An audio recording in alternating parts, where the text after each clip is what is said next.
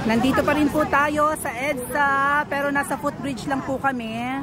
Dito lang sa Manila, pero sa probinsya wala. Doon kami dati sa EDSA Shrine, pinagbawalan kami, nilagyan ng tali, nilagyan ng kordon para hindi kami makapasok. Kaya nandito kami sa footbridge ngayon. Mga ate at kuya, meron tayong kakapanayamin nakakatuwa kasi, sorry mabilis. Kasi nag-effort po. kami kasi iba umuwi na malayo pa eh. O di ba? Dumami nang dumami kami. Yes, mas marami na ngayon. Baka mga one time na kami. Dadating si Spokes maya maya, Spokes Ari Roque. Pero bago yan mga tatkuya, nakakatuwa kasi may isa tayong kababayan dito na nag-effort pumunta. Ayan, may mga dumadaan po, padaanin natin. Sige po, daan lang. Nako! Magandang gabi po, Princess Maui po. Hi, Princess. Hello po. Taga saan po kayo? Ay, pasensya na po kayo masilaw. Kailangan lang po makita kayo ha. Okay lang po takpan nyo ang inyong mukha. Okay lang. Pero ano, nag-effort po kayo pumunta. Ang hirap ng sitwasyon natin. Sino po itong kasama nyo? Mother ko. Tatay, magandang gabi po. Kumusta? Good evening po.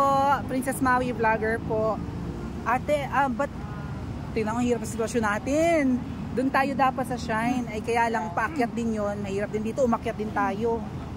Taga saan po kayo kung hindi man bawal banggitin? Hindi pa alam. Ay, dumayo pa kayo pareho. PDLs po. Tama ba PDLs? Hindi ako sure. PWD, sorry. PDL tuloy. PWD. Salamat sa effort nyo po. Diyos ko nakakatuwa. Alam nyo bang ano, takot kaming pumunta. Lalo nung nakaraang linggo, daming pulis. dito 4.30. Ah, nauna pa kayo. Nag-ikot lang kami. Nag-ikot. Okay. Oo. Eh, ayan yung mga pulis. Oo nga eh. Mas nauna pa pala kayo sa amin.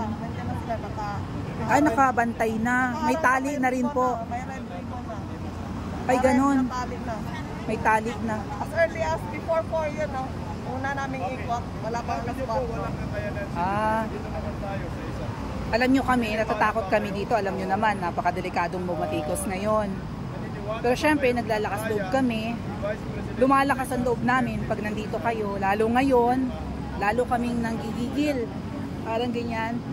Nakakagigil na sila. Sobra-sobra na. Diyos ko. Buti Hindi tama. nakalamas na si attorney. Opo, Harry. opo, opo.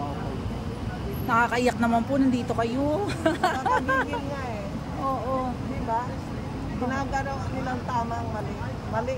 Opo. Ginagawa nilang tama. Pero yung mga tama. Ayaw magtrabaho ng ayos eh. Sisweldohan naman, parang kulang pa. Hindi tayo aasenso eh.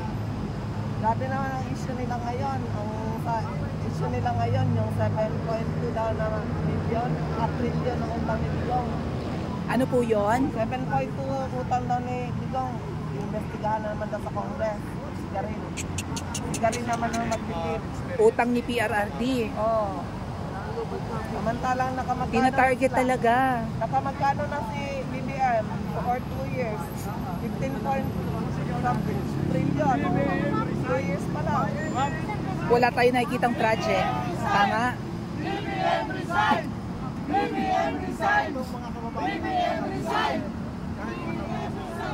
Meron po kayong program para sa mga PWDs ang nakaupo ngayon, ate? Wala rin. Pinababayaan din kayo. Anyway, salamat po sa effort nyo ha.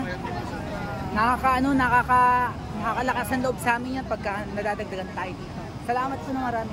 Thank you. Tatay, salamat po. Salamat po sa effort, tatay. Umakyat kayo dito sa footbridge. Diyos ko. Okay naman.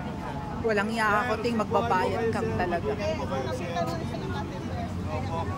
Ah,